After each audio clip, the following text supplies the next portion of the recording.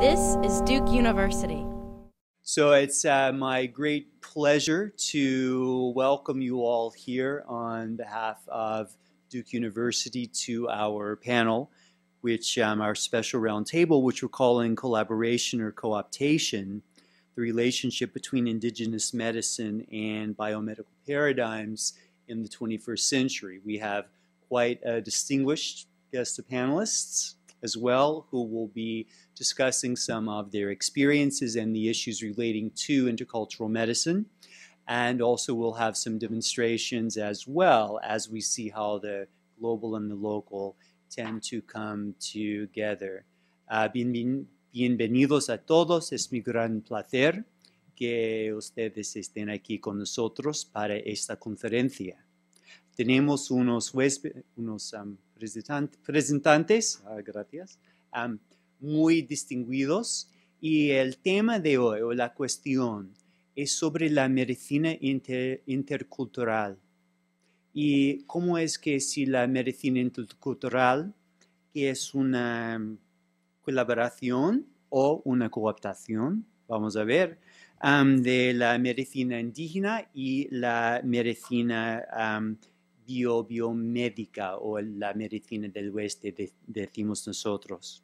En la, en la medicina intercultural, en la col colaboración, hay muchos, como, como, como, como lo, diga, lo digo, o sea, hay, hay, hay muchas oportunidades, hay éxitos y hay desafíos a la vez.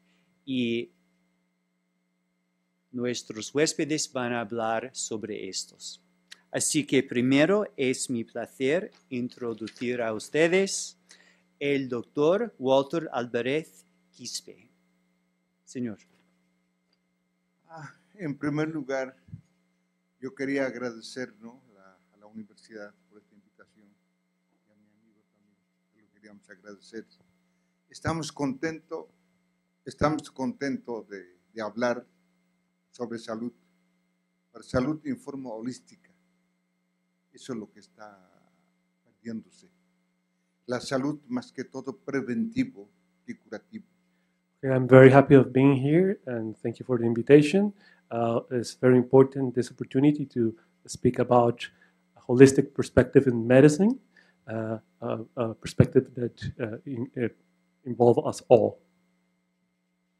Uh, como por ejemplo la salud. En primer lugar, el hombre tiene que cuidarse, no enfermarse, ¿no? prevenir. Eso es lo fundamental. Tiene que evitar las enfermedades para cuidar los animales, las plantas y la madre tierra, que son alimento y medicina al mismo tiempo. The first thing, Están desapareciendo algunos, cuando desaparezcan no sé qué va a pasar. Okay, the first thing is that medicine has to have a dimension of prevention, uh, the prevention of illness.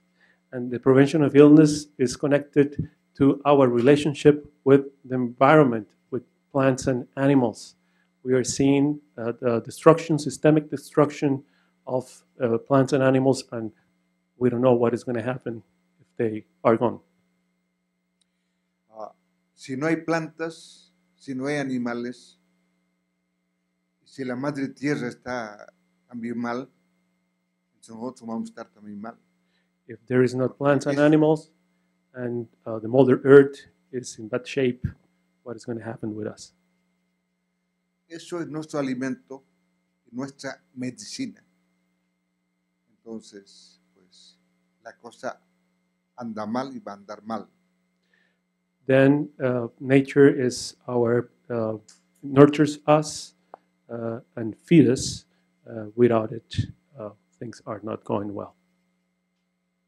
Como por ejemplo, yo represento una de las culturas más antiguas de América, o sea que el Poquina, eso queda con, por ejemplo, Tiahuanaco y los Callahuayas, ¿no?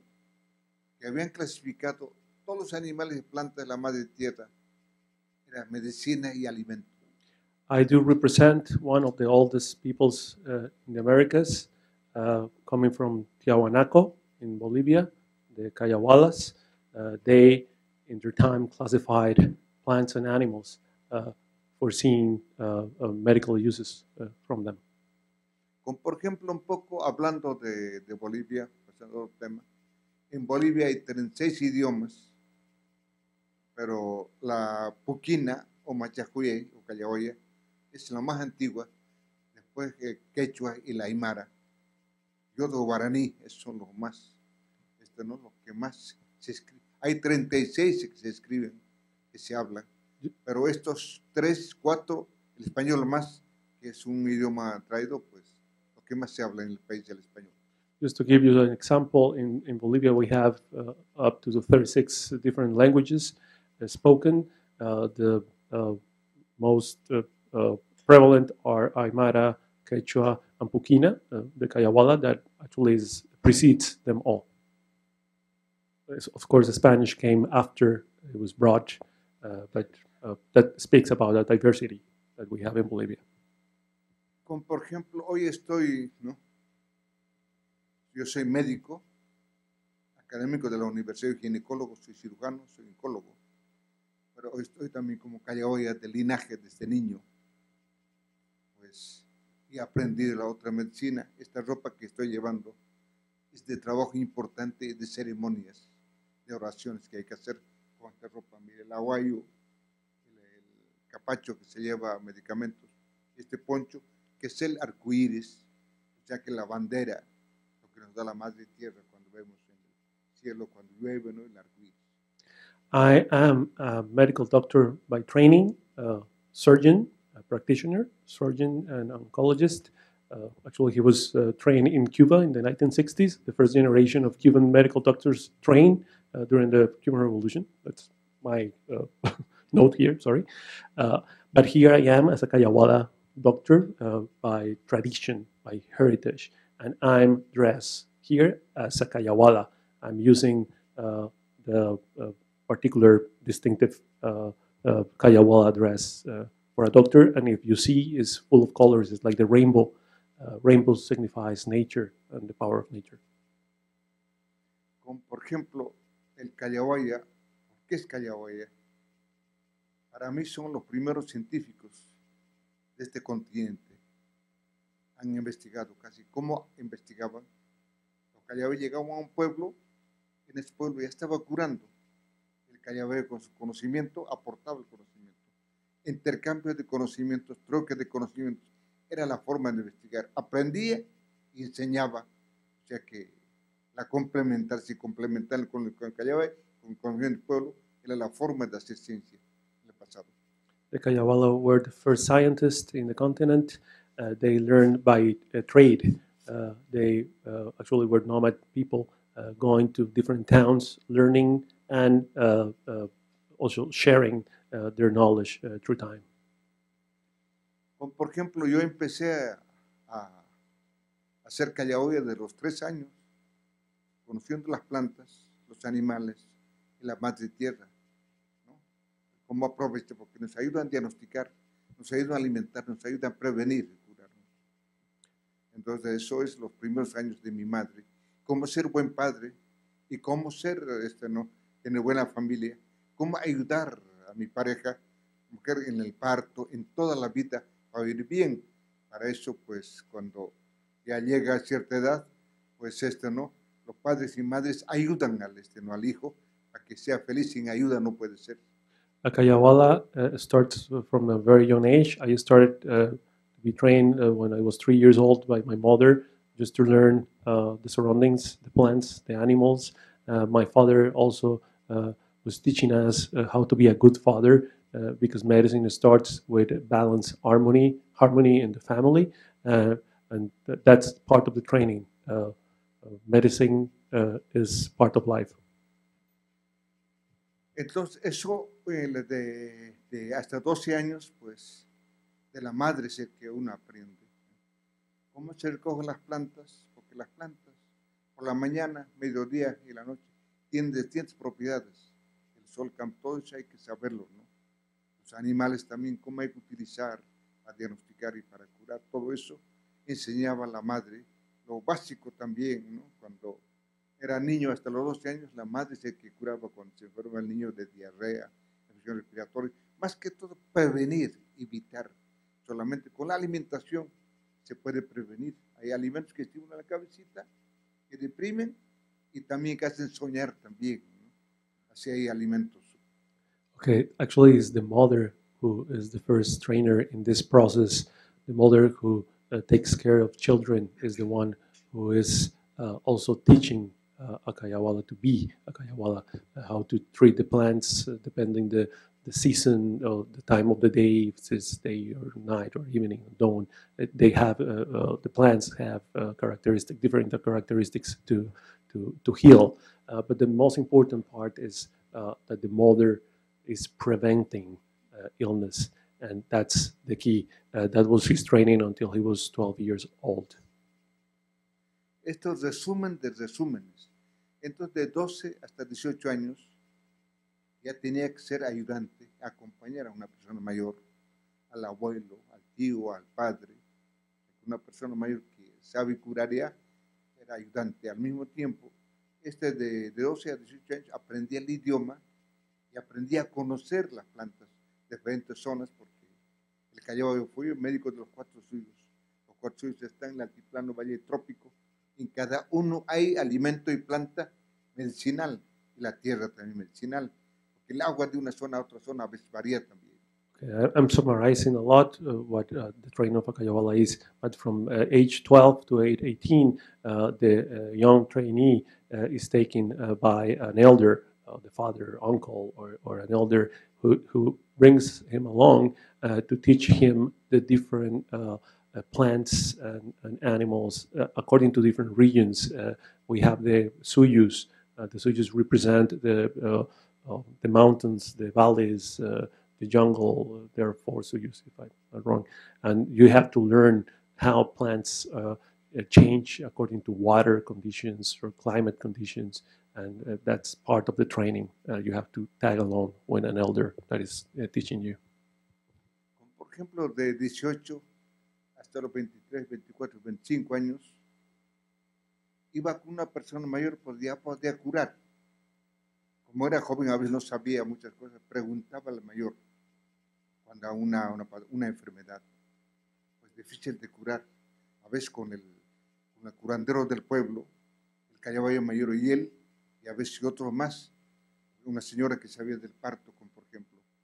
Pues todos participaban cuando era difícil el tratamiento. Es una forma de aprender, de intercambiar las ideas, ¿no? Ya de, desde los 18 when you turn 18, uh, 18 to 24, 25, you are able to start practicing uh, always uh, along an elder. Uh, you can start uh, doing diagnosis and, and some uh, healing practices, but always you have to be uh, close to an elder that is uh, guiding you in these practices uh, from uh, helping uh, giving birth uh, to a mother to uh, uh, practicing different uh, uh, healing practices. Cuando llegaba a un pueblo o a una feria, donde se reunían los pueblos de abajo, de arriba. Eso, los de arriba traían su conocimiento, sus productos, los de abajo también, el callaboyo su conocimiento. Pues esa era la forma de esto, ¿no? De, de hacer ciencia, de investigar. Entonces, después de esto, ¿no? Después de este, los, a los 25, 24 años, pues había una evaluación.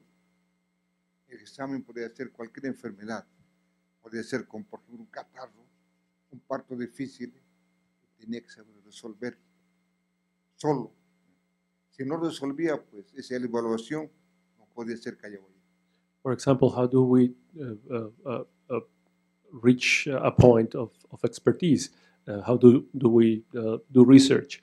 Uh, for example, we participate in, in, in fairs, in festivities in which people from the lowlands and the highlands get together, and of course, the, the, the, their products, uh, their, uh, their uh, herbal medicine is different, and we have to identify those.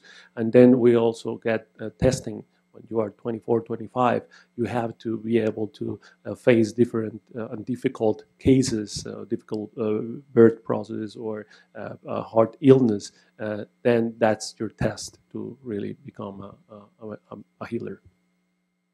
Porque el callahuaya pues, tenía que curar la enfermedad de una planta o también la enfermedad de un animal o curarse a sí mismo también para cuidar todo eso porque la madre tierra pues eso es un alimento y medicina. Pues si no lo cuida por ejemplo este no hay un callahuaya que le han seguido juicio en el año mil, eh, 1747 la, la gobernación de Ibérica, pues lo, como estaba de- curaba plantas, curaba animales, estaba preveniendo, cursos para evitar enfermedades y curaba enfermedades también. Por envidia, pues le han quitado los hijos, los animales, todo lo que tenía y a la cárcel, ¿no? Porque el conocimiento de esto no valía, estaba penalizado hasta hace unos 30 años. Uh, Kayawala not only uh, uh, is a healer of, people, is also a healer of plants and animals. Uh, it- he- the Kayawala has to take care of, of nature, the environment, because the environment is the one that is giving the Kayawala the knowledge. Uh, there is a case, uh, an example, that in 1747, uh, Kayawala uh, was persecuted by the colonial uh, uh, power, the Spanish. Uh, everything was taken out of, of, of, of, him. And actually, the, the practice of this medicine was banned until probably 30 years ago. Como por ejemplo una, un callahuaya, pues estaba penalizado, era inferior, su conocimiento no valía, pero con los ibéricos cuando no podían curar, pues recién hacían valer. Incluso los primeros médicos ibéricos que han llegado a, Bolivia, se han dicho, no traigan aquí médicos, porque lo que hay aquí en, en América son mejores que hay, no lo tenemos, no lo traigan porque no podían curar los médicos ibéricos, como en Canal de Panamá, ejemplo, ¿no? Hace 140 años, la malaria y el paludismo. Los mejores de los médicos del mundo curaron, cuando estaban acá con los franceses, ¿no? Entonces, con mate de cocaína curaron la malaria. Eso es fruto de investigación. O sea, algunos médicos han dicho, esto es lo que nosotros que estén mejores universidades no, no podemos curar, están con el diablo, son brujos, hay que, hay que quemarlos. Imagínate, hasta ese extremo se. It's paradoxical that uh, even though uh, medical me- medical uh, uh, people came or doctors came from Europe, uh, they couldn't heal people in the Americas. Then they were always calling the, the local healers uh, to address problems. Just an example: 140 years ago, when the, the Panama Canal was uh, in the process of being built, uh, the the, the Westerners were suffering uh, heavy losses due to malaria. Uh, and, and they called uh, medical healers, traditional healers. The Kayawala came with the knowledge of kina uh, and uh, the uh, coca leaf to relieve the, the Europeans, the French, who were developing the, the Panama Canal of, of that illness of malaria was the only well-known uh, uh, treatment for malaria for many, many years. Como por ejemplo, el Callahoya practica el sincretismo, respeta la, la cultura cristiana romana, digamos, porque con la mente se cura, con la confianza mental es una cosa muy importante. Por eso los psicólogos, psiquiatras utilizan eso. Aunque el buen médico, buen psicólogo puede curar una enfermedad, el síndrome cultural, puede curarla, pero tiene que comprenderlo, tiene que armonizarlo. Pero algunos dicen, cuando dice lo que tiene en su idioma, se dice, no, esto no, no sabe, está hablando de cualquier cosa, pues no respetaba. Entonces respetaba, comprendía y podía curar cualquier cosa, una enfermedad. I forgot some, something from the last part. As uh, the Kayawalas were considered uh, um, uh, uh, like uh, people with dark powers, like black magicians, uh, well, witches, and things like that. Uh, but he says that uh, the Kayawala is a syncretic person. He uses, uh, understands uh, the cultures of, of the West, and respects the cultures of the West, Christianity and Judeo-Christian beliefs, because the, the work of the Kayawala is, is, is to get a balance, a harmony. Through harmony, you can uh, treat uh, not only physical illness but also mental illness. Uh, and the Kayawala is some sort of uh, psychologists or psychiatrists to uh, in their practice. Como por ejemplo, vamos a volver otra vez a la evaluación final para ser Callaboya. Se reunían Callaboyas mayores de experiencia, se evaluaban. Tenía que saber cualquier, cualquier enfermedad se le ocurría, preguntaban. Se respondía bien, podía ser Callaboya. Si no, podía ser también este artesano que hacía aguayos, pastor o agricultor, podía ser, no podía ser Callaboya. Porque era una gran responsabilidad una gran responsabilidad de esta, ¿no? De, curar, porque la vida es una sola, decían. Si no sabe conservar la vida, si no sabe prevenir, pues, ¿cómo va a ser Callahuaya? O sea que no podía ser Callahuaya. Entonces, si se aplazaba, daban otros dos años, pero con otro Callahuaya. Uh, the final testing uh, to become a, real Kayawaya uh, was to test the, the person. The person had to commit completely to healing practices, to prevention, and to balance. Uh, you cannot be also a peasant or a craftsman. Uh, you have to commit fully uh, to that.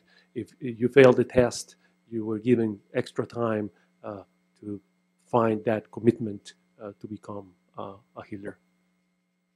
Entonces, si se aplazaba, quería ser siempre Callahuaya, reclamaba porque no se entendía bien, no, no lo quería el profesor, el Callahuaya el maestro, entonces pues, con otro Callahuaya tenía que viajar. Y con ese Callahuaya pues era aprendiz y también podía curar, después someterse otra vez a la evaluación general. Si aprueba, pues puede ser Callahuaya, si no, pues era una, un estudio bien serio, ¿no? Y también ahora, para concluir esta parte de la evaluación, después habrá preguntas, seguro vamos a este, ¿no? responderlo, ¿no? Entonces, o sea que el callahoyano, decimos en este momento, porque yo soy callahoya y soy médico, las dos cosas. La suerte, soy primer postulante en callahoya. ¿no? Entonces, el callahoya, pues dice, actualmente hay ciencia en las universidades avanzadas muy importante, no, no podemos desechar. Pero en las universidades, más que todo, enseñan el área de salud para curar enfermedades. Pero también nos enseña en la universidad a prevenir. Pero la mayoría de los médicos no lo utilizamos, muy pocos. La medicina tradicional que lleva más que todo es prevenir. Imagínate, vamos a estar enfermos por comer alimentos chatarra. O sea que mucho azúcar, muchas harinas blancas, falta de actividad física, falta de bailar sin tomar, claro, sin fumar. ¿eh? Claro, bailar, hacer deporte, nadar, subir, bajar cerros, actividad física, comer bien, pero con- tiene que conocer su organismo. Como ejemplo voy a poner, si tienes presión alta, como familia tienes presión alta, pues nada de café, nada de mucha carne muerta, nada de poco sal, comer ajo, lima y toronja, frutas y verduras. Okay, th- th- this is this is incredible. What, what is going? I'm sorry. uh, in order to become a Kayawala, and if you fail the test, you have to find another uh, uh, teacher to tag along and try to succeed in the in the process and being being accepted. Uh, but remember that the Kayawala, uh, and he was also making a note. Uh, he's also a practitioner, a, physi- a physician. Uh, actually, he was the first professional of, of his caste, of the Kayawalas.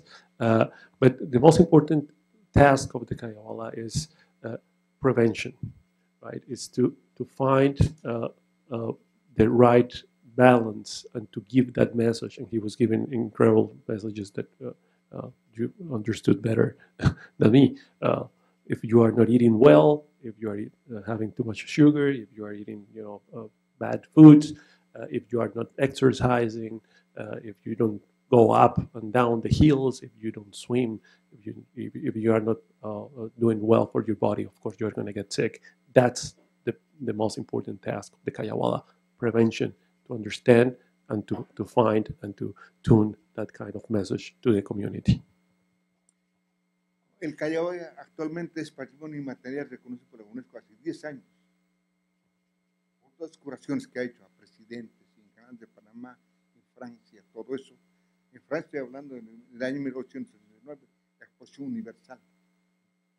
Entonces en Perú, Leguía, en 1908, 6, dictador, pues también curaba la familia cuando ni- ningún médico podía curar. Por todo eso es patrimonio. Entonces en Bolivia hace 30 años organizamos en nuestro momento la Sociedad Boliviana de Medicina Tradicional, más los callabayas, pues reconoce el gobierno primera vez, despenaliza, incluso declara capital de la medicina tradicional de Bolivia a la tierra de los callahuayas, que está en cerca Cusco, en norte de La Paz, en La Paz.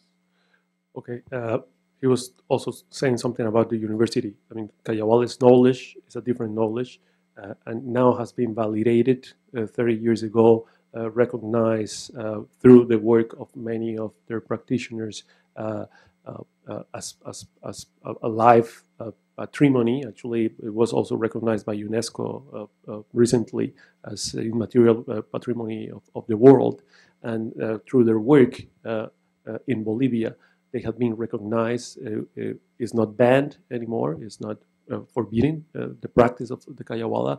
They have an institute, and it has been a long journey to be now part of the structure of public public health in Bolivia. Nosotros hemos estado también, este, ¿no? En México, con, por ejemplo, con los Soya, la Universidad Federal. Lozoya es uno de los primeros médicos de México que ha ocupado de la medicina siendo médico. En Perú, pues también este Cabieses, que en paz descanse, también se ha ocupado, también ha creado el Instituto de Medicina Tradicional Peruana. En Bolivia, antes lo creamos, Instituto Boliviano de Medicina Tradicional de Callaguaya, o Coyaguayo, ¿no? todo eso. Y pues yo puedo estar hablando con, por ejemplo, hace 30 años empecé un libro, porque ¿qué vas a enseñar? ¿Qué es la medicina? Pues, escrito 300 páginas. Estaba hablando que hace dos años, un año, estaba hablando de una enfermedad nada más, de la coca nada más, los alcaloides. La coca era uno de los alimentos, medicinas principales. Puede estar hablando, los alcaloides, puede estar hablando pues, dos, tres horas de la coca solamente de una planta. Ahora más bien está en internet, ¿no? Todo, el perigil, todo está en internet. Pero no hay mucho, porque ¿de dónde salen los medicamentos? De los animales, de las plantas y de la madre tierra. No sale de- del aire, no hay milagros. Pero solamente hay que conocer las propiedades. Los alcaloides, el espíritu de una planta, de un animal es el que nos puede hacer bien, puede dañar, hay que conocer. Y conocer su organismo porque hay alimentos y plantas que pueden deprimir la cabecita, que pueden estimular, y todo el organismo también. Eso es, ¿no? Todos. Solamente hay que conocerlo para eso, para cuidarse. Las plantas y alimentos. El hombre es fruto lo que come, pero tiene que comer na- natural, variado, balanceado de la zona, de la época. Entonces voy a dar paso, si no estamos hablando mucho, los hermanos también pues tienen mucho que hablar, tal vez cosas más importantes que esta. ¿no? También quiero decir, que el que hace se puede equivocar.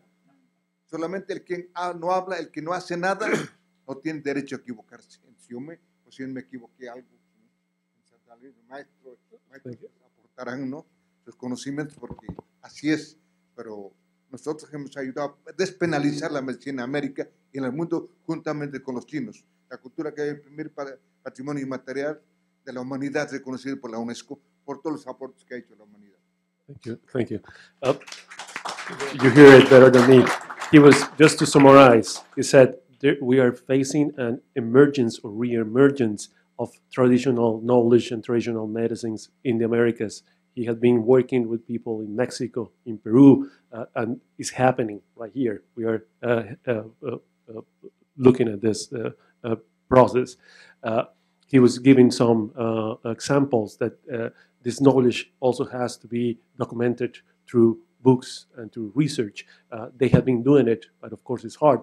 Uh, he was just giving an example of, of the coca leaf and all the uh, prop- properties of that of that plant, as as many other plants. That uh, the message is we have the message is we have to recognize the the value of these knowledges, uh, the properties of the plants, the animals. We have to recognize that there is knowledge and value in their practice. There is an Asian knowledge, knowledge that is also science, and that uh, he's going to give the word to uh, the brothers and sisters in the table because there's much more to, to come. Thank you so much.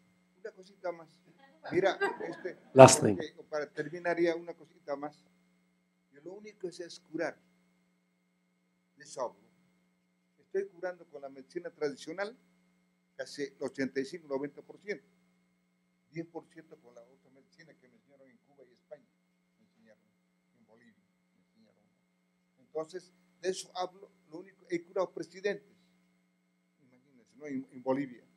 He curado mucha gente también que dicen importante porque todos somos importantes. As a, as a physician, I've been using 85% of traditional medis- medicine in my practice, 10 or 15% of Western medicine, uh, because I was trained as a medical doctor, and I, I've been practicing uh, not with uh, governors, also with presidents. Then this is a knowledge that is relevant. Uh, thank you. Muchas gracias.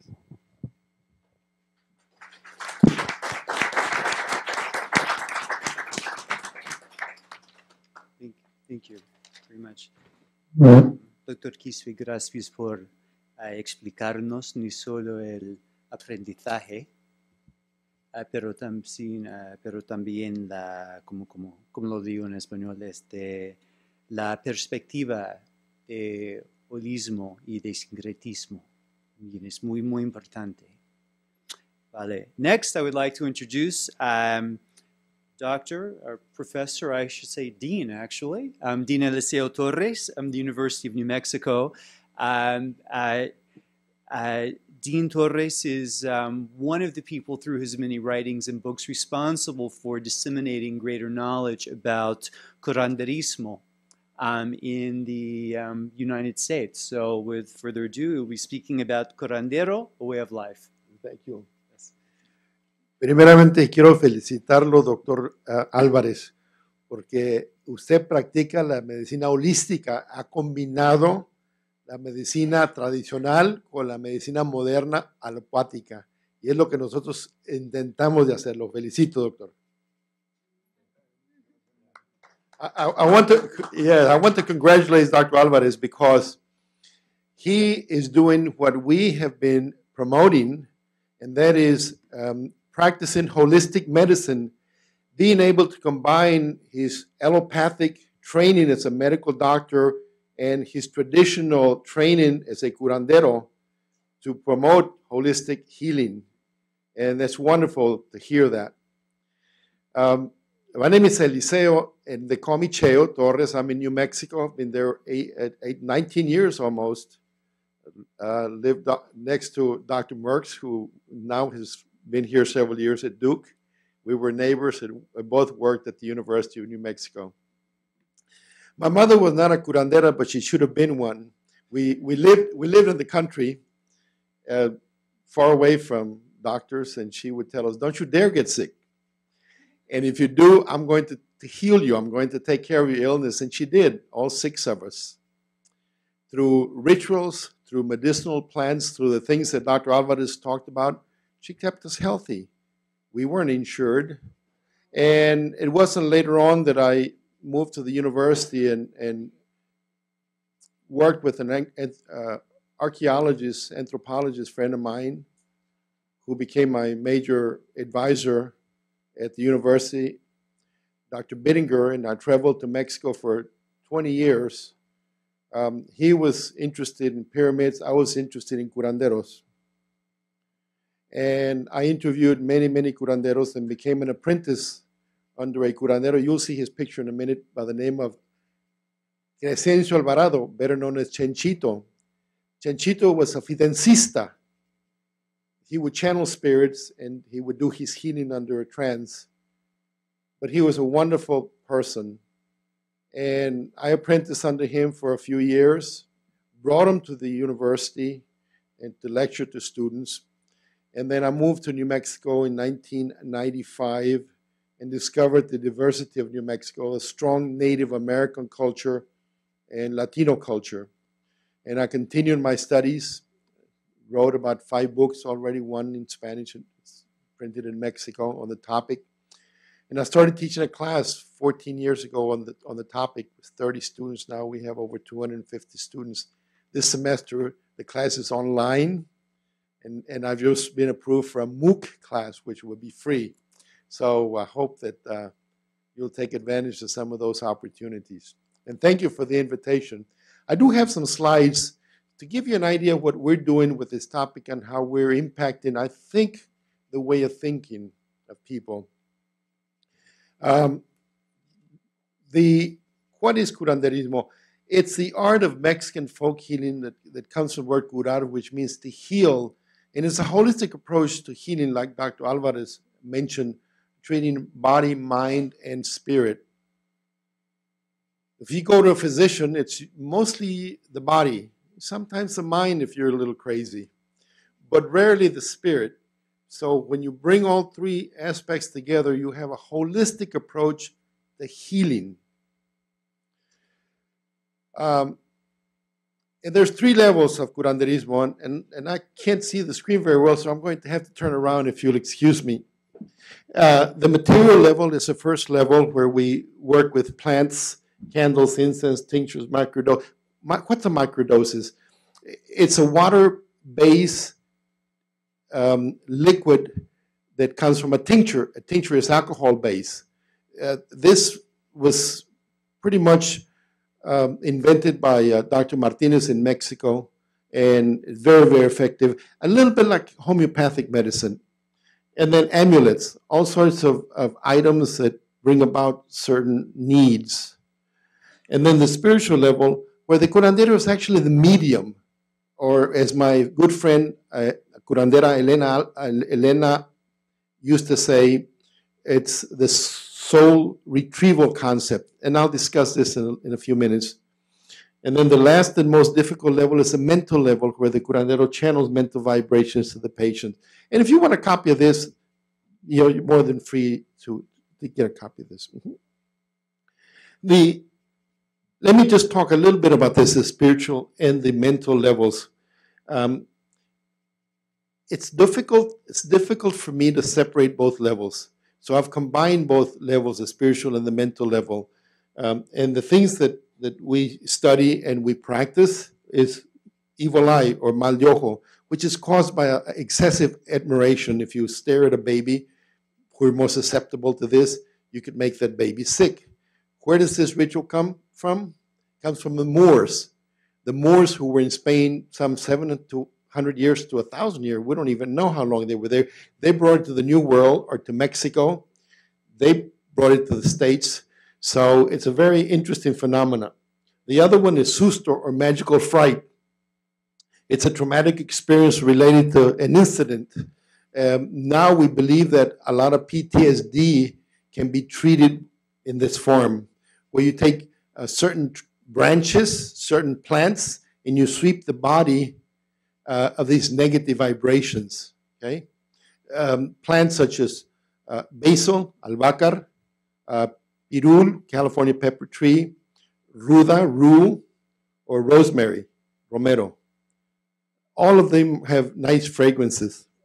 The other rituals is caída de, caída, caída de when, or this is the fallen fontanel on babies. When they fall from a crib, you toss the baby in the air. And the other one is empacho, you ate something raw, it's stuck in your stomach, and you massage the belly and then the back, and you pull on the skin, and you hear a popping sound, which means that it's been dislodged. The other one is bilis and muina, both anger illness. There was a study done here at your university a few years back on anger, and the researcher labeled this as one of the uh, serious illnesses right along cigarette smoking and alcoholism, it, it, it kills you if you don't control it. Curanderos have had a ritual to deal with anger. One is suppress anger, and the other is outer, outward rage. We won't go into the rituals, but there's interesting ways to deal with both of those. Okay? Let me tell you a little bit about the class. As I mentioned, um, I taught the class in Texas 20 years ago to nursing students at Texas A&M University, Corpus Christi. I, I, when I moved to New Mexico, I wasn't sure if I was going to continue teaching the class, but, but I did. In fact, we took a group of students to Mexico for the first class, which was a wonderful experience to Cuernavaca to work with curanderos. But there were only 15 students, and I, I kept thinking we ought to be able to reach a bigger audience. So I decided to offer the class 14 years ago. We started with 30 students. The second year, it probably jumped up to 75. Last year, we had 250 students. They're coming from all over. There's a hunger, there's an interest to rediscover a culture and to learn more about this wonderful tradition. And this semester, I'm teaching the class online, and I thought I would do 20 students. Uh, I'm up to 35, so I think I'm just going to cut it at 35, but the interest is there. Um, this is the online class, and then it's just been approved for, for a, a MOOC, a massive open online class. It will be offered for free, uh, and it's in both languages, Spanish and English. And, and I'm going to give you an idea of what we're offering in this class. Um, my colleague, Dr. Arturo Ornelas, um, was trained in Switzerland. He's Mexican, he was trained in Switzerland, and he was provost of the State University of Morelos in Cuernavaca, about 40,000 students. Got tired of being administrator, opened up a school 20 years ago for curanderos, a holistic school. And he's worked with hundreds, if not thousands, of curanderos from all over Mexico, Central America, and South America. And he's the one that I work with for the class. We bring some of his curandero instructors to be in the States as part of the faculty. Here's one of the uh, curanderas, probably one of the best curanderas that I have ever worked with. Her name is Rita Navarrete. She's from Mexico City, and she is a temascalera. She specializes with temazcales. Ustedes tienen los temazcales en, en Bolivia, doctor, ¿verdad? ¿Los temazcales los tienen? ¿Los llaman temazcales, no? Sí. Está.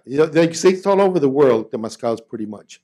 The Mexican temazcal um, was not really very popular. It, we didn't know much about the Mexican temazcal in New Mexico. The native temazcal exists there, uh, especially the Apaches, uh, Lakotas that have moved into New Mexico, which is a masculine temazcal. It's a stronger sweat lodge. The Mexican is a feminine temazcal. It's a softer sweat lodge. So we started constructing temazcals, and with Rita's help, this is she's, this is an temazcal in Albuquerque. So we built four temazcals now, and the, the students that are in the class use the temazcals during the two-week course. And here's um, another one of our instructors, Tomas Enos. He was trained in Oaxaca. He, he, his Spanish is perfect, and he was trained by curanderos in Oaxaca mostly on herbology. So he teaches all the plants, not all, but many plants of the Southwest, plants that are that, that are, do well in New Mexico, but in other areas of the Southwest, and their medicinal usage and the preparation of these plants either through a tincture, a salve, a microdoses. Uh, we also, in our team, is a, a, a curandero from Peru, Mino, Nino um, fortunately married a New Mexican, Bernadette, Bernadette Torres. And so he now they have a garden called Chabeta Garden where they teach classes, but he's also part of our team. He works a lot with sacred tobacco. And, and his wife, Bernadette, is a registered herbalist, also has been trained in Mexico. Here we have Tonita working with clay therapy Eh, which is very popular in, in with a lot of the curanderos. And now we teach students how to deal work with clay uh, in a lot of their their therapies.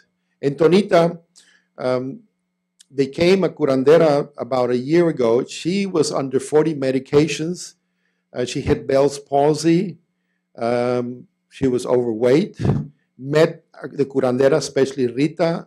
Rita took her to Mexico City worked with Tonita. Tonita enrolled in the school that Dr. Ornelas has, lost 100 pounds, is off of all her medications, and is one of the top curanderas now in, in the Albuquerque area. Okay. Here's Tana, also another curandera, working with empacho and how you deal with empacho. Supposedly, empacho is is you've eaten something when you have empacho and that's been stuck in the intestinal tract, and you're trying to dislodge that, and you massage uh, the belly and then the back, and you you pull the skin, and you do hear that popping sound, and it, and then there's a nice soothing massage with empacho, um, and Tana is a wonderful curandera, a great sobadora. We don't call her mas, a, mas, a masur or masus, but we call them sobadoras. Here's Rita again with fire cupping or ventosas. Ventosas is cupping. Most of you may be familiar with the Chinese cupping. This is the Mexican cupping. Uh, you light a fire under the cup, it, it place it on the skin, it pops the skin up, and you, in Mexico, they move the cup around uh, and it pools a lot of stagnated blood. And it's just a wonderful, wonderful massage. It, it, it, it also relaxes your muscles. And people that have not had a, a, a true uh, ventosa uh, don't realize how therapeutic it can be. We teach the students how to do ventosas. Here's uh, Donita and Rita doing a, a session on juice therapy the first thing that the curanderas ask you is about your diet. And they find out whether it's related to your illness. So they teach you how to eat healthy, how to juice healthy, and how to prevent illnesses before they even happen. And here they're working with what they call manteadas. They take a shawl well, in, in the villages, they use a shawl for pregnant women, especially who have babies who are bridged, or for the elderly whose bones are brittle, or for young kids who are sensitive, they're, they're still growing. They they see what Rita is doing. Sometimes the two of them work together. You lie on the on this on this shawl, and they move your body around to adjust your body it's just a very soothing uh, way to align your body. And, and this was a lost art in Mexico. It's coming back, not only in Mexico, but in the Southwest. And here's my good compadre, uh, uh, Laurencio Nunez. Laurencio is from Oaxaca. Laurencio's grandmother was a famous curandera worked with Maria Sabina. Some of you have heard of Maria Sabina, a famous curandera. And Laurencio became a curandero, had never traveled outside of Mexico until we brought him to Albuquerque. He is one of the most gracious and most humble individuals and one of the best curanderos that does limpias or spiritual cleansings or energetic cleansings. And he sweeps your body with an egg that absorbs the negative vibrations, and then he uses certain plants to sweep your body. And he uses incense, which is called copal, from the copal tree. And by the time he finishes with you, you feel like a baby. You just so feel so relaxed and so cleansed of whatever energy you were carrying. The idea is that we all absorb certain negative energies that are with us, and he's doing a cleansing and he's been coming for the last three years. Just a, an adorable person, and all the students fall in love with Laurencio. And here, uh, Rita also specializes risaterapia, laugh therapy. Um, any of you familiar with Norman Cousin? Um, you, are familiar, uh, Gil. Norman Cousin Dr. Cousin was dying from an illness and that was affecting his immune system. He didn't know what to do, so he started laughing, started watching TV, uh, the Marx Brothers, a lot of uh, uh, uh, funny shows, and he laughed and he laughed. And after a while, for every 30 minutes of laughter, he was being pain free for about an hour. Well, this life threatening disease, according to him, was, was cured through laughter. So Rita has developed a laugh therapy. He tells people, You're not as sick as you think. Let's laugh. Let's drink a little wine and let's party a little bit. And, and that's what the famous Nino Fidencio used to do back in the 1920s. And it's been very, very effective. Produces endorphins, a natural painkiller, and does a lot of wonderful things to you. We just need to laugh a little bit more. Okay? And this last summer, we brought a group of healers from Uganda, from Africa. And they were in several panels with the curanderos from Mexico and from Peru. And guess what? There's so many similarities, more similarities than differences. And we're beginning to start working with other cultures so that they get together and they can share and they can learn from one another. We're also working with Native Americans from New Mexico and natives from Mexico on the sweat lodges, and they're comparing rituals and techniques. And it's incredible how we're beginning to develop new, new health systems. They are. We're not. We're just, we're just bringing them together. Here's a few photos of the, uh, of the classes. Here's a couple of curanderos uh, demonstrating the usage of the egg on treating mal de ojo. You break the egg in a glass of water, you diagnose the egg to see whether you had uh, mal de ojo. Here's an opening. Every uh, morning before the class, we have an opening ceremony, and there's here's the, one of the opening ceremonies. Here's Dr. Ornelas also at the opening ceremony. Here's a couple of curanderos that came uh, a couple of years ago. Uh, Don Esteban Torres and his daughter. He's, he's, he's a, he comes from a lineage of curanderos that dates back hundreds of years. Now his daughter is a curandera, his wife is a curandera, the whole family are curanderos. Here's a demonstration in the class. So that's okay. Actually, we're almost. Uh, we can go a little bit fast. If and if not, I we yeah we can go a little bit fast on that. Uh, here's uh, yeah here we're showing students how to prepare tinctures. Uh, this is a Mayan healer, Roberto. Roberto is a Temascalero. He's the one that's been constructing the sweat lodges in in uh, Albuquerque. Here's Tonita, also at an opening ceremony. I talked about her. Here's Belia. She comes from a village. She's Mexican native, powerful, powerful healer, eh, especially with limpias. Here's a Temascal that I'm talking about. This one is in Oaxaca. We have four uh, sweat lodges similar to these, a little bit bigger. Very, very effective. Uh, it's incredible the results that we're getting from the usage of Temascals. Uh, here's a group of students in a Temascal in Oaxaca next to the beach. And uh, they, these are nursing students and occupational therapy students. Now we don't have to go to Oaxaca, we have them in, in Albuquerque. Here's a group of students training to be curanderos in Oaxaca. We take students to, to Oaxaca because they're losing some of the traditions.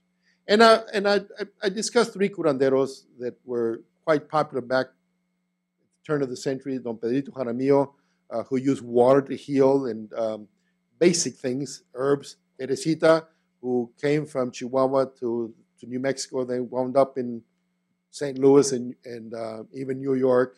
But she's a, a great curandera. Her strengths were prophecy and, and uh, um, laughter also. And then the last curandero, Nino Fidencio, who was um, a spiritualist, and um, my teacher was a fidencista. I'm going to stop there because my time is up. But I, would like to also invite, how many of you students are in the traditional medicine class? I thought some of you, Dr. Boyd, the students? No? I thought, uh, maybe I thought. it doesn't really matter, but if, if you're interested in the summer class, it's a two-week class. Eh, this summer it's going to be July the 14th through the 25th. So I hope you can join us and for a wonderful experience. You don't even have to be a student. Uh, think Dr. Marks might join us this year. So thank you very much.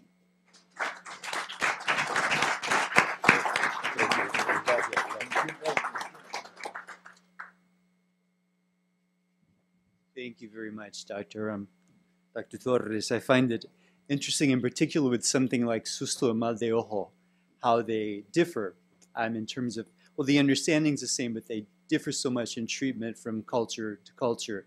Um, my research site is in Guatemala. One of the things I have to warn our students about as they go down is when the, the women will take their babies out of their wraps in the clinic is the, the kids immediately want to run to the children and just say beautiful and play with them. And it's like our lesson one in cultural competence is, uh, yes, explaining mal de ojo. Um, our next speaker is Christopher Clayton. Chris is actually a graduate of Duke and right now is on a Fulbright scholarship in, um, well, just finished up in Bolivia and is now in um, Ecuador. And he has been working on understanding more uh, the issues um, in the relationship between biomedical and indigenous paradigms in the Andean community. Chris. So I think that my talk today is going to be a slightly different perspective. Um, I'm a recent graduate of Duke Global Health and Spanish and Latin American Studies Department. So I'm hoping to bring a little bit of a public health perspective and a discussion of intercultural medicine, where that's going. And um, I know the pamphlets and everything say Bolivia and Ecuador. I just started in Ecuador, so I'm going to focus mostly on Bolivia, um, but I'll talk a little bit about future directions in Ecuador for sure. So the title of my talk is El Camino a la Salud, or if this will advance, The Path to Health, Traditional Medicine and Healthcare Decision Making in Urban Bolivia and Ecuador. Um, I also just wanted to say we are so lucky to have this panel here today. Um, really amazing people. Uh, this perspective that they both shared, one on education and one on practicing, is so important in moving towards intercultural medicine and the potential um, benefits that can come from that. And they've brought up a lot of the challenges as well. So I'll try to explain that a little bit as well. So a quick overview on what I hope to cover today.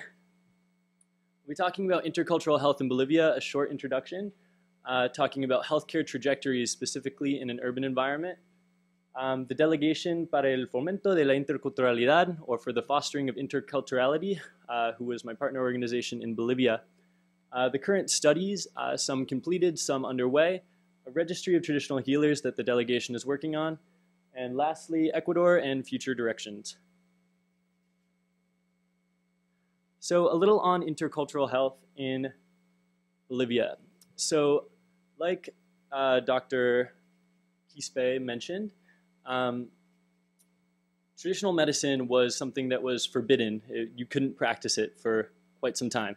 Um, the 1980s, that changed, and the country opened up towards accepting traditional medicine. Uh, for the very first time in 2006, traditional medicine entered the national constitution.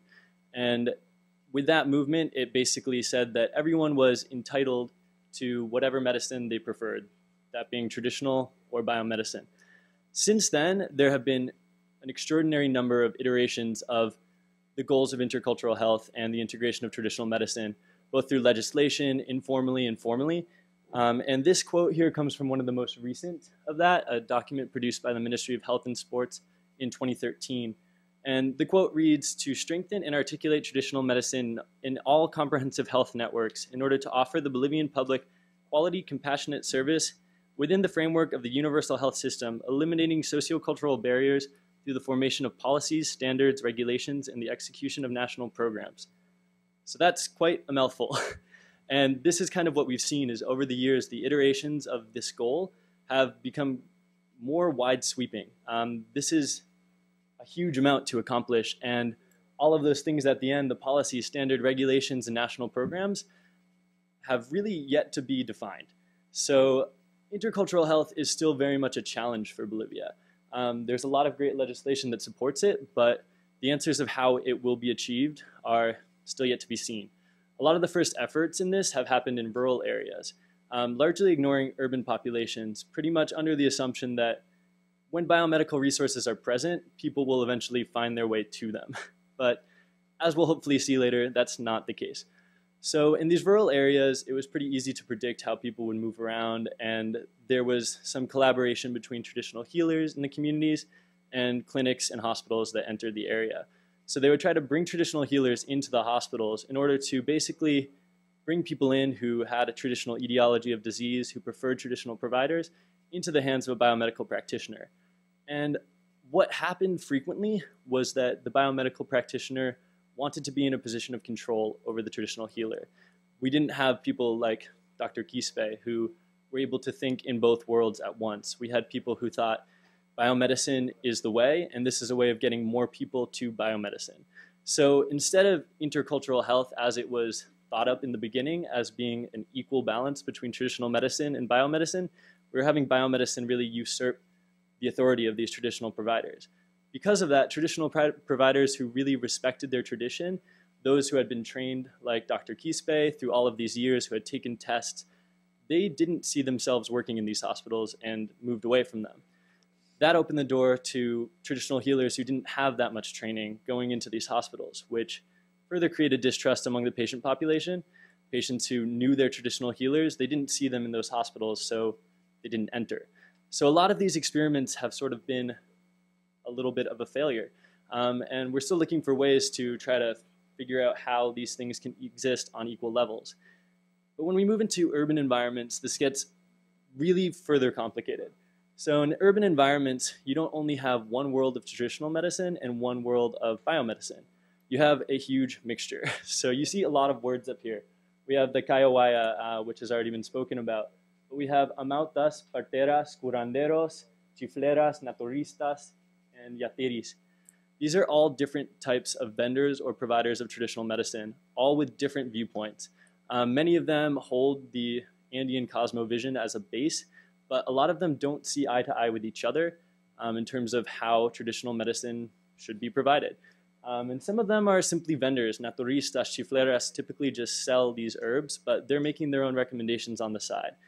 Um, along with this mixture, we have hospitals, clinics, NGOs, all of these healthcare organizations that represent biomedicine. There's not just one place to go. And we have things like SUMI, which is Seguro uh, Universal Materno Infantil, so uh, insurance for mothers and infants. And that is highly incentivizing the use of biomedical practitioners for mothers and infants by giving them benefits for going to their appointments monthly. Um, so that's pulling people in who might not have gone to biomedicine in the first place. So when you get this huge, complex network of healthcare providers, including family, as you see down here, and community with all of their recommendations, there's pretty much no way to predict where a patient is going to go. So we have our, uh, you could say the sacred pair there, male and female, as you find in Bolivian culture, the chacha warmi as it's called. Those are going to represent our patients, and it's difficult to see where they're going to go in a healthcare trajectory. But there's been two theories that have really come up that have tried to explain how this works in urban environments. One is healer shopping uh, that came up in the 1980s out of research in various African nations. Um, and the other is Laberinto de Curación, which came up about last year by Carmen Beatriz Loza, um, who is a historian and anthropologist in Bolivia and also uh, Dr. Quispe's wife. So that's a little interesting there.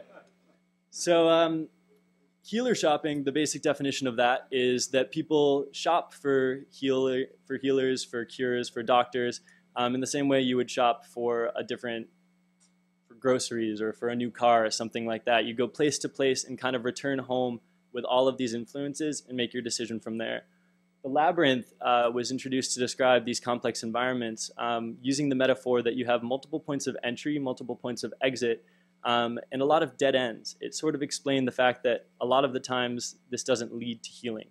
Um, so Carmen did uh, wrote a wonderful book. Definitely look it up. Write her name down. Uh, called Laberinto de Curación. I believe it has a subtitle. Um, but basically, what she looked at was how people navigate the healthcare environment. Um, she did this through informal conversations with people, and um, this is something that really interested me. Something that I wanted to look at further in a more formal research public health setting. So moving on from that, um, when I went to Bolivia, I partnered with the Delegation for the Fostering of Interculturality, uh, which was under the municipal government of La Paz. And some of you may recognize Marcelo Fernandez Osco there. Um, he is a Duke alumni, and uh, one of the great things about this organization in particular is that Marcelo studied here um, doing cultural studies, studying what interculturality was. He's very much a scholar, and he is now heading this government organization that is moving towards reaching interculturality. So it gives me personally a lot of hope that interculturality can mean what it was meant to mean theoretically, and not what it has sometimes been turned into by politics. So they've been a great uh, organization to work with. They focus on many areas. Traditional medicine is just one of them.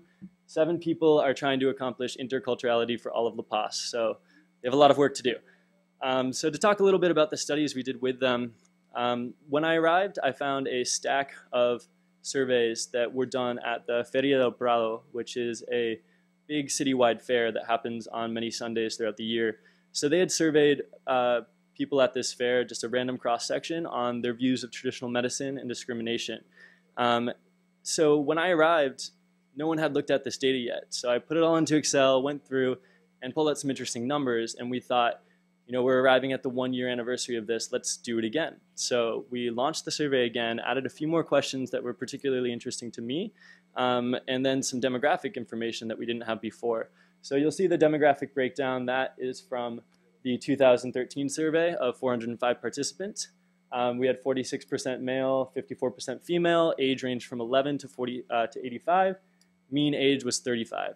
Um, and what we actually saw between the two years, although we don't have demographic data from the first year, is that answers to the questions that were common were remarkably similar. There was no statistics, statistical significance between the years. So we went ahead and lumped all of that together to give you a few percentages that came out of this. And this will show kind of a baseline of where the city is at in terms of viewing traditional medicine, what their opinions are.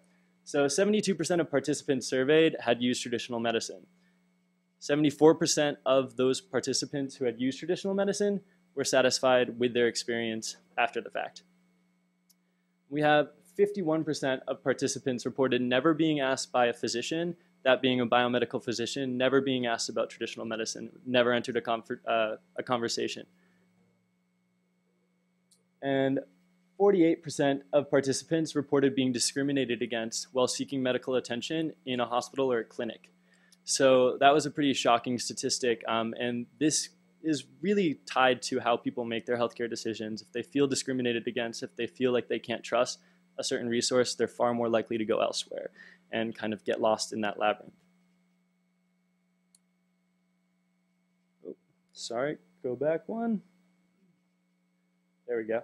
81% um, of participants surveyed agree with creating spaces for traditional medicine in hospitals and 64% of participants believe that traditional medicine has the same importance as biomedicine, which was a really wonderful statistic that was able to come out of that as well. Um, and then lastly, looking at age and gender, it didn't correlate with the responses at all, which um, is a really great piece of data for me because I hear all of the time traditional medicine is disappearing when people grow up in a city and they see biomedicine all around them, they're not going to use it.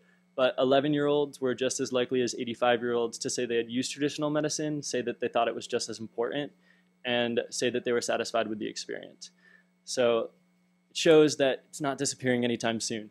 But although this study was um, very interesting, still just a start. Uh, you can't necessarily say that the population was representative. We hoped it was. We did our best. But um, it's a great baseline to show how things are looking in a city like La Paz. But I wanted to move on from there and go more in depth. Quantitative surveys for something like this is they're not always the best. They don't uncover all of these stories that really lead to theories like the labyrinth. Um, so I followed it up with in-depth interviews at a hospital in El Alto, which is the city that is just bordering La Paz. So I did 25 semi-structured interviews with mothers who were between the age of about 19 and 30. And uh, we talked about different themes traditional medicine, healthcare decisions, discrimination, and then most importantly, communication with their providers at this hospital about traditional medicine, whether they had asked about it, whether they felt comfortable talking about it. So these interviews were totally fascinating. I'm in the painful process of transcribing them through the screams of many babies because it was a very busy hospital. Um, and I should mention that this hospital, uh, sponsors Sumi. So they sponsored that insurance. So they're bringing mothers in, highly incentivized to be there. So it was a really great population to look at because intercultural health in its conception for the Bolivian government was a way to try to reduce maternal and child morbidity mortality because mothers were seen as at risk because they were using traditional medicine for birth. They were using it instead of going to um, pediatric consultations. So it was a way to try to bring mothers into the hands of biomedical providers, really. So my hope was to show these biomedical providers that their patients were doing a lot of things that they had no idea about, that their patients would never share with them because they didn't feel comfortable, and try to uncover why they didn't feel comfortable doing that. So, though it's still in the process of analysis, um, a couple of stories really stood out and really highlight that labyrinth theory, really support the multiple points of entry and the dead ends. So we had patients who said that they would consult a yatiri before they went anywhere. The minute they were sick, they would go talk to a yatiri. The yatiri would read coca leaves and decide whether or not it was something that could be cured by traditional medicine or cured by biomedicine. Um, but this woman also told me that you can't trust one yatiri. You have to go to three.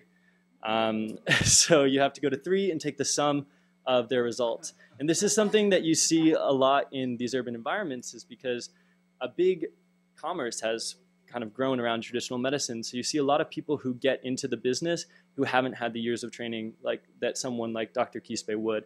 They're called charlatans um, locally. So this woman knew that it was hard to trust yatiris, so she would go to three before she made any decision.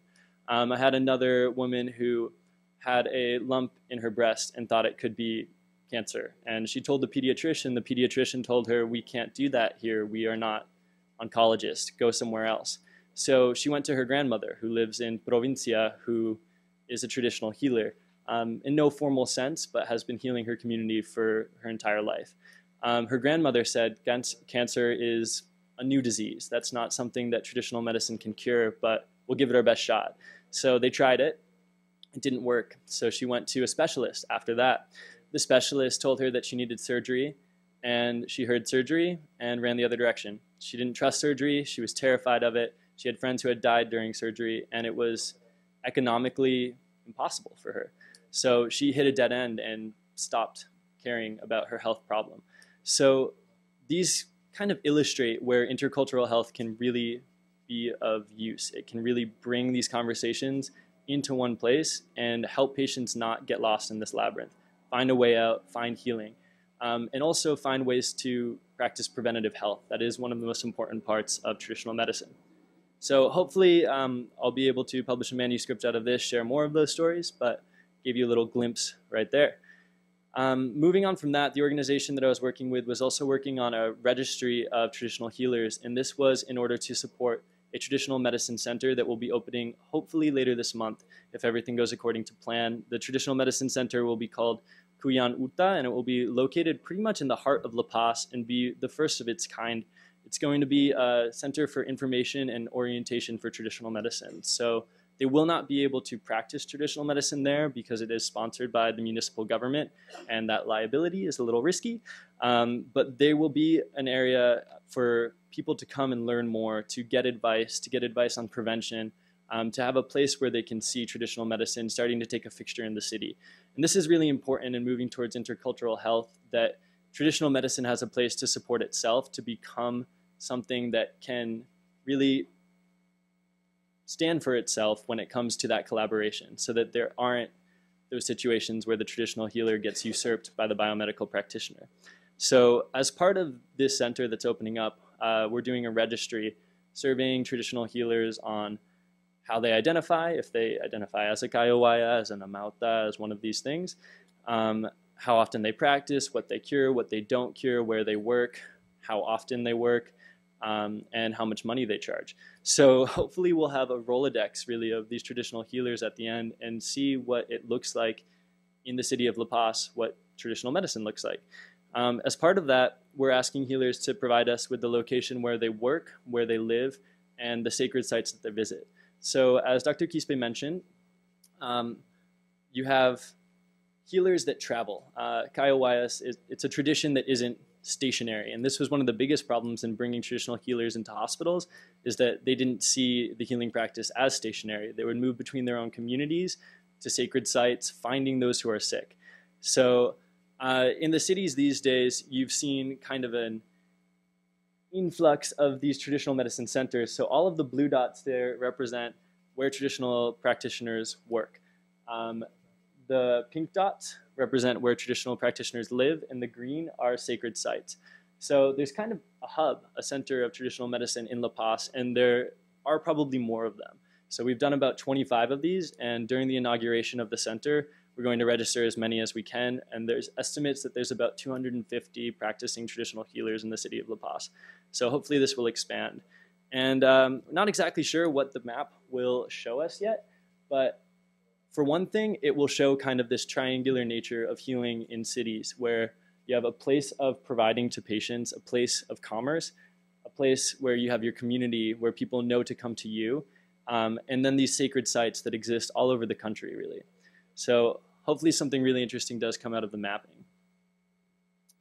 So to finish up, Ecuador and future directions. Um, in Bolivia, still, we're hoping to do another in-depth survey in hospitals. I ran into some snags trying to get that worked out, but quantitative data goes a really far way among biomedical practitioners. They love the numbers. So if we can get some good numbers that show them that people are using traditional medicine, it could be really powerful, potentially more powerful than the interview study. So hoping to move that forward. Um, and then what's so great is we just had a wonderful talk on education about traditional medicine, and that is really key in moving towards intercultural health. So uh, with the delegation, we're hoping to try to organize and present some ideas for courses or curriculum for medical students so that they can become aware of traditional medicine, how it's being practiced, and some tenets of cultural competence to communicate with their patients.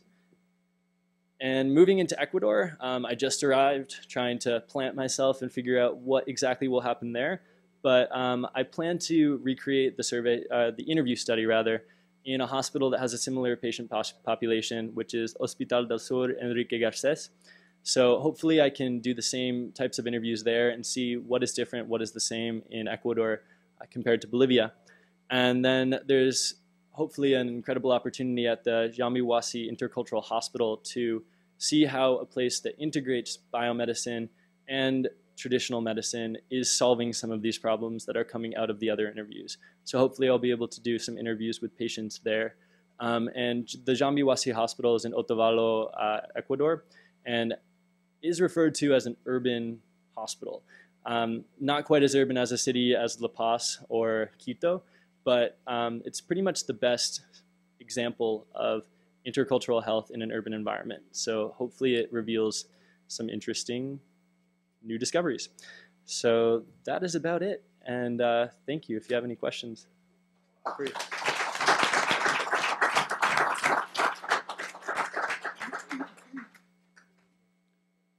And if you have any advice, I'm still doing research, so please feel free to contact me.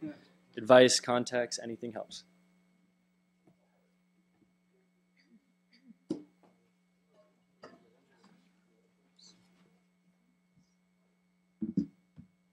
Thank you, Chris. I just want to point out that uh, Chris said that uh, he was working with the delegation um, in Bolivia. I was actually met with the head of the delegation, your former student in Bolivia, a couple of weeks ago. And uh, Marcelo told me that Chris had basically become a member of the delegation and that this work was going to be critical to the, um, to the work that they were doing in the future. So I think it's a great example of, of how sort of quantitative perspective can actually play an important role in a very ancient way of thinking. And speaking of older ways of thinking, uh, we've talked a lot here. Yes, there you are, the historian. um, we talked a lot about education, about apprenticeship, about the various cultural issues and intercultural issues. And I, I think it's also important to realize that these ideas, these themes, these conversations are not necessarily new. They're conversations and negotiations that have taken place for quite a while. And with that in mind, um, it's my pleasure to introduce Farren Yero, who is in our own Duke Department of History, uh, finishing up your dissertation, right? First year. First year of your dissertation. Ah, it's almost over in that case. anyway, she'll be speaking about uh, curanderos and the botanical reconquista, ritual healing and enlightened eating in 18th century New Spain. Please. So my paper is going to be very different. Um, um, so I just wanted to say a few words about the paper before I get started. Um, like I said, it's part of a new project. I'm just beginning my dissertation research this year. Um, and so the idea is to look more broadly at how power and knowledge are intersecting and are interacting as part of the Bourbon Project in 18th century New Spain. And so specifically what I'm hoping to explore is how notions of gender, race, and sexuality are intersecting with these ideas about disease, food, and the human body in medicine and in healing practices throughout the 18th century. So within the paper, I've developed four different sections. Um, the first one, I'll provide a brief background on the Bourbon reforms as they relate to the fields of medicine and botany. And then next, I'll look at Nahua physiology and the tenets of Galenic medicine and Spanish ideas about bodily humors, which was um, essentially the main idea about medical theory at the time, um, and how these epistemologies of healing interacted in New Spain. And then the third section we'll look at cases of healing, um, focusing on how food operated within ritual practice and then finally, I'm going to offer some thoughts, um, some concluding thoughts on method. So, in the northern in the northern mining town of Zacatecas, there was an indigenous healer known as Roque de los Santos. In 1733, Roque was accused in front of the Holy Office of the Inquisition as a quack and a superstitious curandero. Roque admitted that he did in fact belong to a family of healers and that he had learned his practice from his mother. However, he also told his inquisitors that he had apprenticed himself under Francisco Lopez, a man known to be an established indigenous healer. The Inquisition, an institution that served to root out heresy and reinforce religious orthodoxy, was interested in Roque not only because of his alleged superstitious practice, but also for his purported medical fraudulency. It's interesting then that Roque defended himself by assuring his inquisitors that in addition, or perhaps in spite of his familial connections, he had received medical training through a recognized form of instruction, these charges against Roque in his own defense raise a number of questions about the production and transmittal of medical knowledge at this time, Spanish attitudes towards curanderismo, sorry, dry mouth, and more importantly, how individual curanderos' conceptualizations, conceptualizations of their own practice um, as Enlightenment notions of medicine, health, and botany came to be institutionalized in 18th century New Spain. So curanderos understood sickness to be more than a corporeal ailment, and thus their treatment went beyond the physical. The human body, the natural environment, and the spiritual realm were directly linked through the consumption of food and botanicals. The professionalization of medical healing and the growing field of botanical science challenged this interaction. We can rely then on the preeminence of botanicals as sites of analysis as one way of examining the ways in which professional medicine influenced curandero healing practices but also the way that curandero knowledge might have contributed to or challenged professional knowledge. In the last decade, historians of Latin America have become increasingly interested in Enlightenment thought and its influence on various scientific communities throughout Spanish America. These studies have rightly challenged the Black legend belief that Spain and its kingdoms, in their religious fervor, were backwards and superstitious, challenging binaries that pitted modernity against tradition. Many of these studies demonstrate how the Spanish defended themselves against the critiques of French and English writers and scientists, yet they rarely ask how curanderos saw themselves in this changing world. We see that despite regulations and repression from the colonial state, the church, and the Protomedicato, which is like the Royal Board of Medicine, healers continued their work. Scholars interested in the early years of conquest and colonization have asked questions regarding the social and cultural implications of these practices we see that ideas about healing, cosmologies, and physiologies were exchanged by both curanderos and trained physicians during these periods.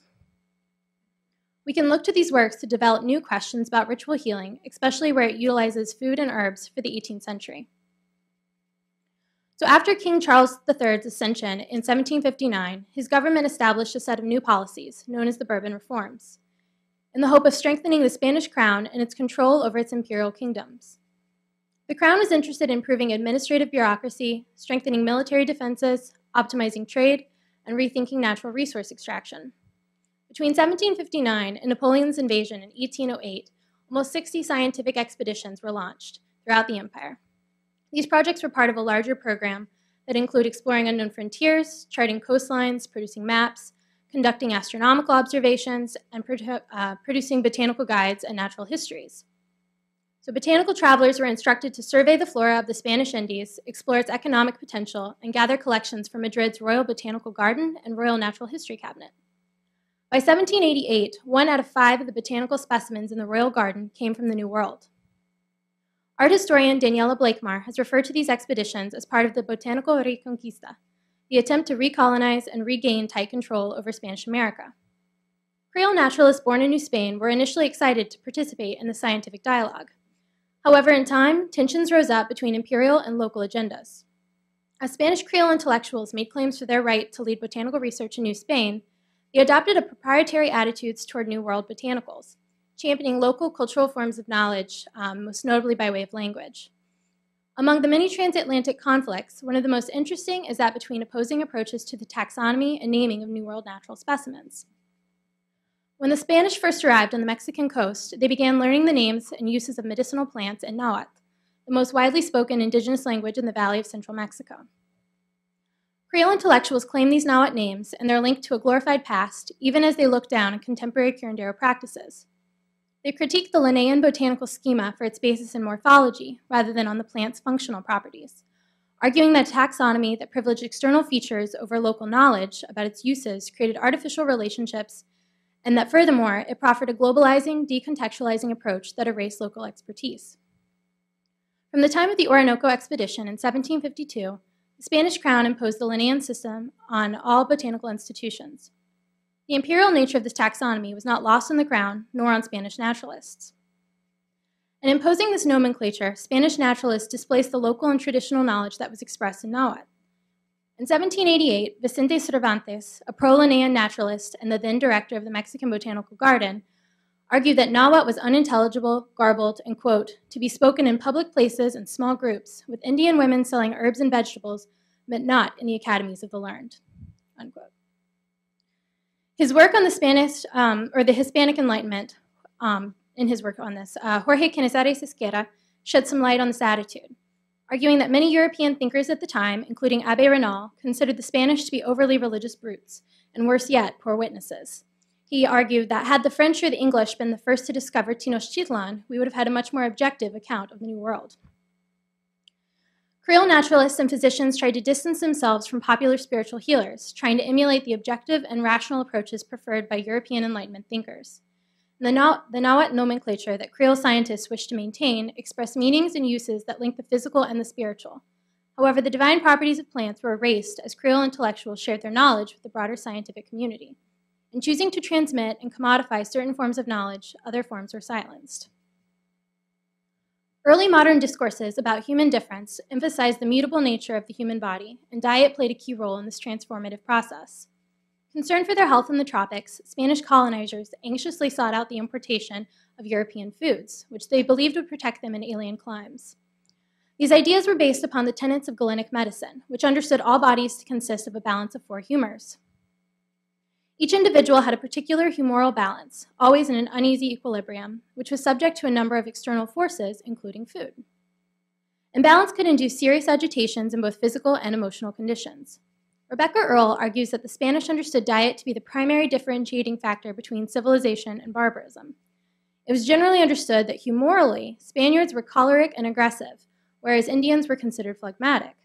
Bartolome de las Casas, colonist turned Dominican friar, explained that this difference was simply due to the fact that Spaniards and Indians ate different foods. While Europeans were nourished on wine and wheat bread, Indians ate, quote, roots and herbs and things from the earth and fish, unquote. He understood that this cold food generated the abundance of cold humors that characterized what he called the indigenous body and its docile nature. Although curanderos certainly did not believe that their bodies were naturally conducive for colonization, Humoral medicine did share many similarities with Nahuatl thought regarding the human body. Although individual healers must have held slightly different ideas about health and epidemiology, they would have shared a fundamental understanding about the way the body was animated and its link to the spiritual world. Nahuatl physiology emphasized three primary animistic centers the head, the heart, and the liver, which regulated the life forces that flowed between different bodies, deities, and the physical world. One anima, tonal, was understood to be a radiating heat, which emanated from the body. Much like the cold hot polarity of humoralism, tonal needed to be regulated. Too much or too little heat could lead to an illness and possibly even death. Earle argues that Spaniards understood that, quote, life itself, sustained by the natural heat and radical moisture characteristic of a healthy body, was indeed entirely dependent on food, more than any substance or activity that helped maintain the body's warmth and moisture, unquote. Daily interactions, as well as major life events, constantly threatens the body's equilibrium. Curanderos were relied upon to bring the body and society back into balance. The other primary anima was known as teyolia, the life force that could transmit energy beyond death, which was contained by the heart. In the 16th century, missionaries sought out ideas within Nahua cosmology that might function as surrogates for Christian concepts, and they quickly adopted teyolia to talk about the soul. Souls could be stolen or given away, just as teyolia could be pulled from one's body. Although not considered healers in the traditional sense, men and women, uh, men and women known as ilusos or alumbrados were able to retrieve these forces, often with the ritual use of food. Nora Jaffary argues that although visionaries were not specifically engaged in healing, their practices incorporated elements of curandero spirit possession.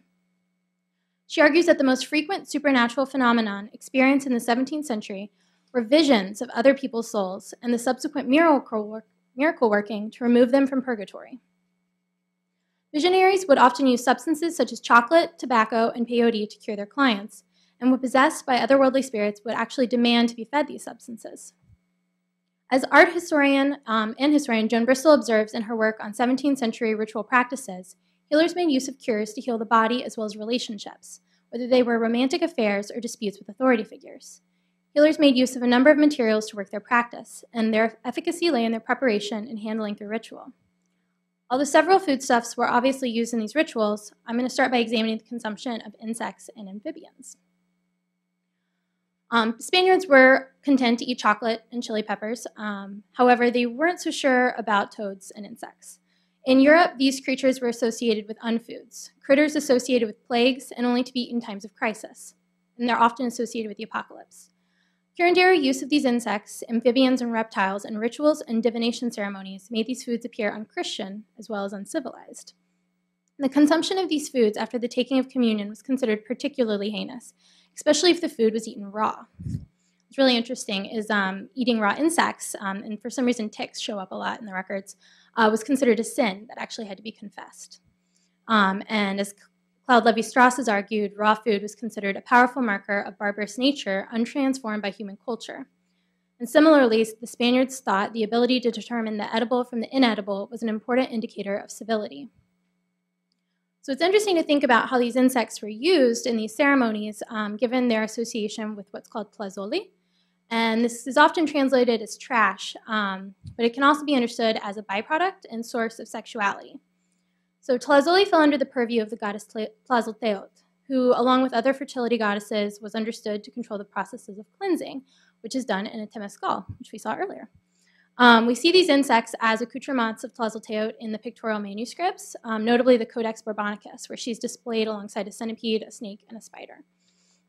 So in Nahuatl, sex had the ability to maintain life or destroy it. Thus, an overabundance of sexual energy in a human body was considered dangerous, but it could be controlled through the intervention of curanderos. In one example, Pete Sigal recalls the story of Xochiquetzal and the scorpion. So, when a scorpion stung an individual, he could turn to the curandero, who would then recount the following story. It was said that a man went up into the mountains to fast and refrain from sexual activity, knowing that if he succeeded, the gods would provide him with the power to kill his enemies. However, he was unable to maintain his vows and was seduced by the goddess Xochiquetzal. He was thus beheaded and transformed into a scorpion. So, after telling the story, the curandero would coax the poison out of his client's body by simulating sex, taking on the role of Xochiquetzal herself. And so then the curandero, possessed by the goddess, would remind the scorpion that because he failed to, take his, um, to keep his vow before, he couldn't kill his victim now. Um, and Sigal argues that this story, one related by a Nahua parishioner to a Catholic priest, reflects the persistence of this indigenous story and this knowledge over, over the 16th and 17th centuries. So, another site of contestation within colonial healing practices was the realm of women's medicine. Contraception and abortions, in particular, were important services provided by curanderos. Pregnant women from elite circles could easily diffuse perceived dishonor through an existing infrastructure maintained to shield well, uh, women from the public until they gave birth. At that point, the child was either sent to an orphanage or sent to a distant relative. However, most women in New Spain couldn't turn to such a system, and instead they would turn to pre Columbian forms of women's medicine, including abortion. And so the church and the colonial state considered it to be a criminal offense, and if convicted, both the mother and her accomplices were sentenced to death. Um, there's a midwifery manual from 1775 that warns, quote, Midwives and any other person who counsel or cooperate in any way with abortion sin mortally, even if the creature is not animated, and even when they do this to protect the honor or life of the pregnant woman. And if the creature is animated, they incur excommunication and will receive the death penalty for this act. So, despite these threats, surprisingly few women were actually prosecuted, um, either for abortion or what was considered a related crime, uh, crime of infanticide. So, uh, Nora Jaffary argues that colonial judicators were hesitant to carry out these harsh punishments, and because of their leniency, actually managed to condone the practice. And so, the pervasiveness of this practice raises questions about the circulation of knowledge about abortifacients um, or botanicals that would induce a miscarriage or an abortion. Um, so Jaffary recalls a medical tract from 1795 where um, writer Antonio Leon y who was one of New Spain's most celebrated uh, scientists, remarked that, quote, all the uterine illnesses that women suffer from find sufficient remedy in the multitude of herbs known by the generic name of cihuapatli, or medicine of women in Nahuatl. Unquote. Many of these plants continue to be used for menstrual problems, but also to help facilitate births. Most curanderos who would also offer their service as midwives knew that these plants could be used to induce miscarriages. Naturalists working in New Spain included abortifacients in their collections for the botanical gardens in Mexico City and Madrid. However, this particular use was not always recorded. And the silencing of this type of knowledge isn't, you know, that um, unreasonable given the taboo against contraception and abortion, um, but it's just another example of this kind of selective knowledge that the naturalists offering uh, to a European audience uh, suggests one more way in which traditional knowledge was being suppressed. And so there's been a growing body of scholarship that's addressing globalization in the early modern world through the lens of botanical and medical knowledge circulation. And again, very few of these studies are considering the role of, role of healers as producers of knowledge. And as we gleaned from Roque de los Santos in the Inquisition file earlier, curanderos could learn their trade from their families, but um, others felt uh, the call of their nawa, which is an animal spirit that kind of guides over one from birth. Um, and so this this kind of begs the question: How did these initiations change? Because, or if they did, um, through the professionalization of medicine, and did curanderos seek medical licenses in addition to traditional education? And how did these healers understand the plants they were working with at the time, and also um, you know how they got access to them given the same time the bourbon reforms are creating this, these massive campaigns for modernization so mining um, and livestock. Um, so all these kind of agricultural revolutions are going on at the time and it's interesting to think then about what was brought up earlier about the environmental question of how access to these plants is, is changing. Um, so these questions and this kind of work um, raise a number of theoretical and methodological issues so, how do we actually go about understanding the cultural meanings and the worldviews that curanderos constituted through their work? Their stories are told almost exclusively through an archive that emphasizes the scandalous, the strange, and the criminal that is, records of Inquisition and criminal court trials. How do we go about representing healing practices without echoing the narrative of the colonial state? And how do we accommodate different historical perspectives and represent the epistemes that curanderos worked within? And how do we go about doing this when the categories for examining the colonial world remain predominantly European? James Sweet takes on these issues in his work with the Inquisition file of Domingos Álvares, an enslaved African healer who traversed the Portuguese Empire. Building on the theoretical insights of Steven Feierman, Sweet's work is a critique of Atlantic histories, especially those of the Black Atlantic, that do not actually incorporate African historical perspectives. This type of work does little to reveal how African institutions and ideas impacted the Americas. Instead, quote, the erasure of African categories of knowledge reduces the history of the Atlantic to a European American anachronism, assuming the only black Atlantic history worth telling is one in which African aspirations are expressed through colonial American languages and institutions. Unquote. Sweet's critique of Atlantic history can be applied to Nahua epistemologies as well. If we are to attempt to understand the way that curanderos thought about their practice and its broader social and political implications, then we need to rely on different categories of analysis and move beyond just the institutional discourses that colonial or state archives produced. Sweet argues that beyond physically healing, Domingos performed wider, much more crucial social and political roles in society. His primary function was that of an intellectual, a function that was, quote, directive, organizational, or educative, unquote. And that's from Steven Feierman. And his position amongst different social relations allowed him to extract broader political meanings from illness. Throughout the Atlantic world, Domingos offered this political discourse of health and healing as an alternative to imperialist discourses engaging in a critique of the most important political issues of his day. Curanderos were intellectuals in their own right, producing medical and botanical knowledge of which Creoles and Europeans made great use. However, we still know very little about what curanderos did with this knowledge beyond physical healing. Michael Taussig reminds us that curanderos in the Putumayo River Basin, well into the 20th century, understood healing as a critique of capitalism and a way of curing the consequential social ills and terror that the rubber boom economy aspired in the region. As researchers continue to explore questions of global networks in biomedicine, we should insist on questioning the silences imposed in the name of science and modernity, continue to rethink the language we use to conceptualize epistemologies that are not our own, and seek out the different meanings that botanical knowledge and healing practices could have had.